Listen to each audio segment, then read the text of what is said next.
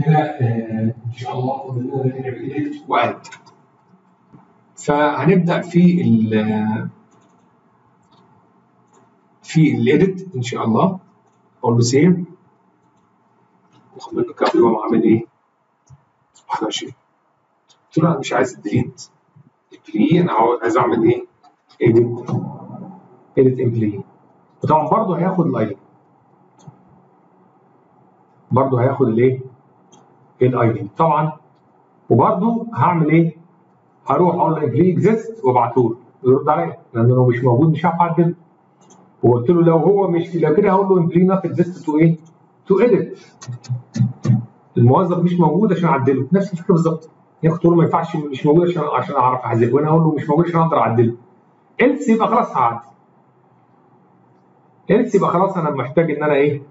أغير الكود ده بإن هو يعدل بالفعل على الموظف اللي إيه already تمام؟ كده الموظف موجود. عايز بقى أبدأ أشتغل عليه إن أنا أقدر أحذفه. طبعا ال- ال- الفن ال main هنا مش يبقى deleted employee أقول له ال edit employee ID أقول له enter إيه ID of employee you want to edit. أنت عايز تعدل. وهنلعب function اسمها إيه؟ اسمها edit employee وابعت لها ال edit employee ID اللي إحنا وصلنا. له. بس عادي جدا. بس هاخد منه إيه ال employee ID أنت عايز تعدله رقم كام؟ وهبعته لل function طب ال function لو مش بتشيك عليه موجود أو مش موجود؟ مش موجود بتقول لك ان هو مش موجود مش هتقدر تعدله. طب else يبقى كده إحنا دخلنا في إن إحنا تمام وعايزين نعدل البيانات بتاعت الشخص الجميل ده. عشان اعدل البيانات بتاعت الشخص الجميل ده اجيبها الأول اللي هو ال ID وال name وال phone والكلام اللي إحنا عارفينه ده. أجيبه الأول عشان أقدر أشتغل. إحنا كنا عملنا دي متهيألي في function من ال functions القديمة. اللي هم الهيفي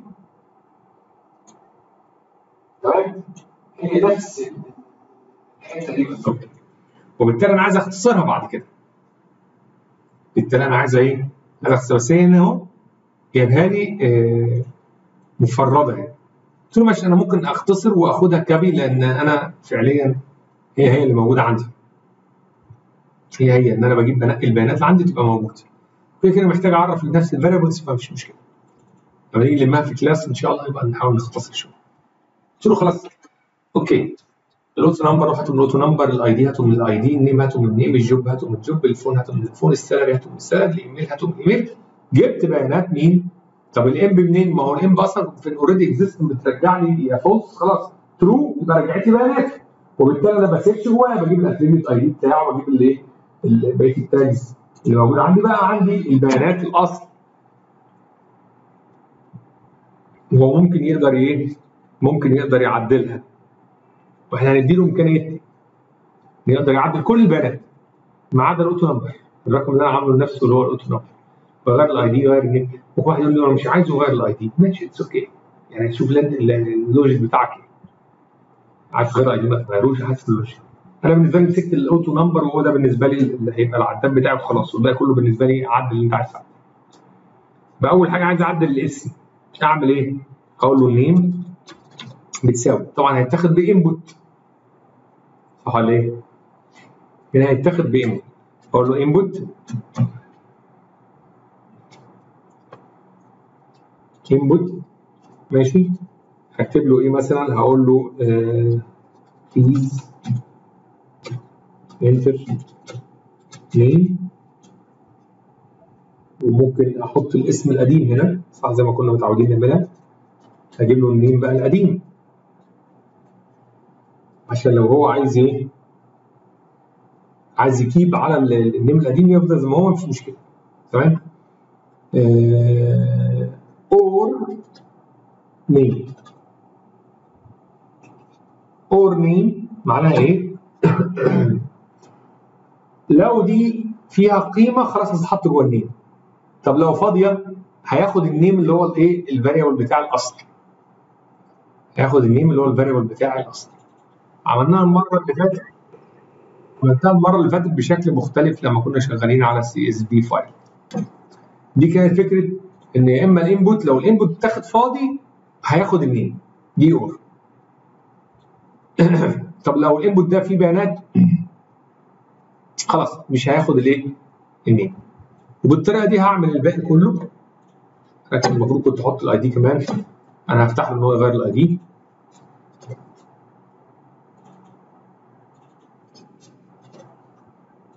أجيب له ال ID وبقى عليه هنا ال ID وبعد كده الباقي بقى كله طبعا ال ID وال name وال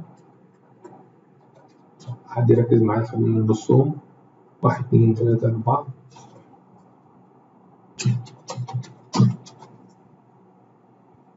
النيم بعد كده الجوب والفون السالري والايميل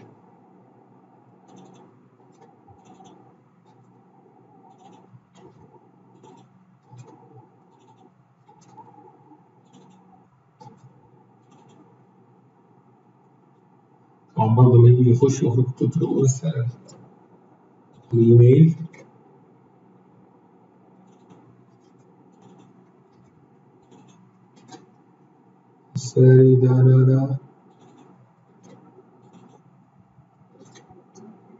تليفون تليفون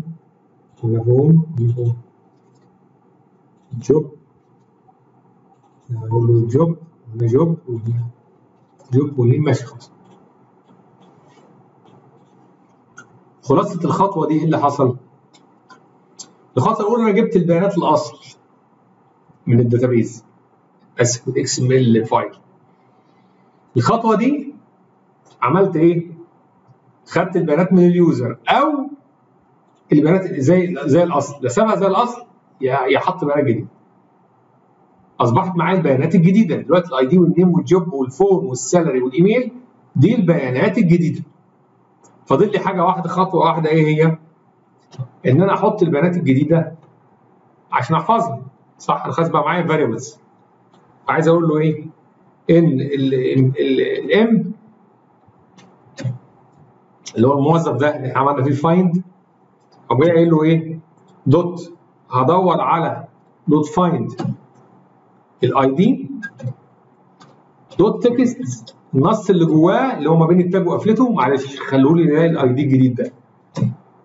حسب بقى ال ID الجديد ده بقى شايل حاجة جديدة يتحط شايل حاجة قديمة تتحط برضه مش دماغك يبقى كده إيه؟ بدأت أعدل على ذات نفسه. برضه هقول له find ال name بس قيمته هتبقى ال name الجديدة اللي هي اللي هو ال variable ده سواء كان من مدخل جديد بالنسبة لل user أو الايه القيمة الأصل.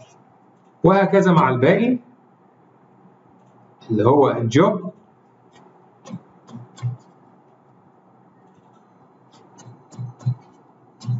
وبعديها ال phone.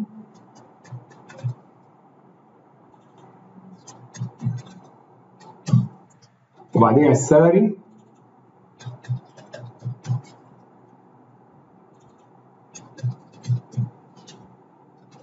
بعديها الإيميل.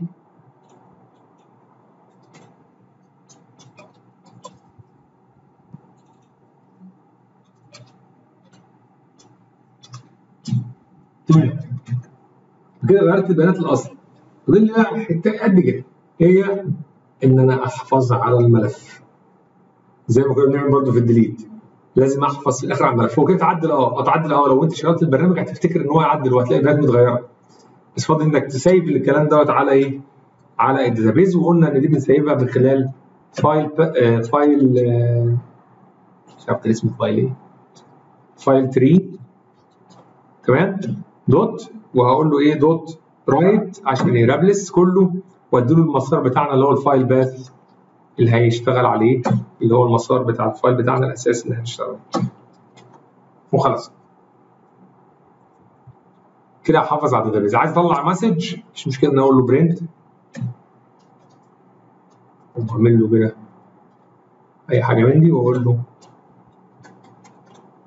print أقول له employee. الكود بتاعه الكود بتاعه اللي هو اللي هو بالنسبة لنا إحنا auto number خلاص ال auto number بتاعنا.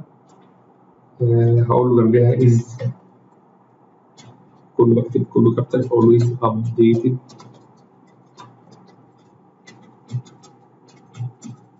successful يقول لي الموظف رقم كذا is updated successfully عدل وبنجاح. وكله تمام. وخلاص. يبقى القصة كلها على التعديل بيتم معانا ثلاث حاجات أساسية أو أربعة. الأول أجيب البيانات الأصل اللي هي ال old. بعد كده باخد من ال user البيانات الجديدة أو الأولد.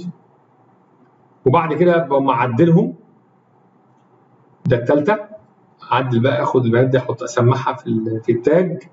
وبعد كده سايب الكلام ده جوه الفايل بتاعي. وخلاص. ده الاربع خطوات.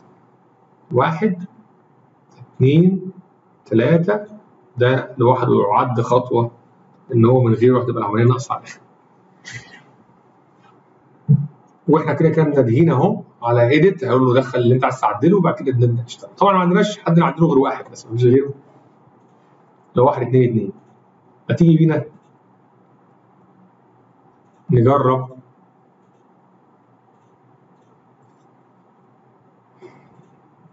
file قلت له واحد واحد اتنين تلاتة. هيقول لي طبعا مش موجود. أقول له تمام. قلت له واحد اتنين قال لي دخل قلت له خلي واحد اتنين اتنين زي محمد إبراهيم قلت له خلاص. محمد إبراهيم. team leader قلت له لا. ده؟ project manager رقم تليفون قلت له آه هو يعني رقينا بس الراجل وادينا له مرتب أعلى. ضحكنا عليه ب 3 4000 جنيه. والإيميل قلت له زي ما هو. يبقى إحنا بس إيه قال لي طبعا ال employee code رقم 2 is updated successful ال message بتاعنا بس لاحظوا إحنا بس رقيناه وادينا له مرتب بس وده غيرنا. روح نشوف الملف بتاعنا. ليه بقى؟ فعلا بقى project manager وبدأ يسمع في الإيه؟ يسمع فعلا في ال salary بتاعنا ده كان كده إيه؟ فكرة ال